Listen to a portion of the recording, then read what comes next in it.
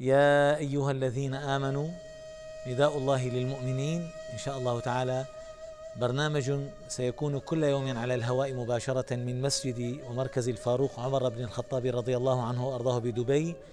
بعد صلاة العصر بتوقيت دبي آخذ هذا النداء الرباني الخالد. آخذ نداء من هذه النداءات أفصل فيها أسقطها على الواقع حتى تكون نبراسا في حياتنا. إذا سمعتم يا أيها الذين آمنوا يقول ابن مسعود فأرعها سمعك فإن فيها أمرا تؤمر به أو نهيا تنهى عنه. برنامج يكون بعد صلاة العصر في رمضان من مسجد ومركز الفاروق وكل عام وأنتم بخير.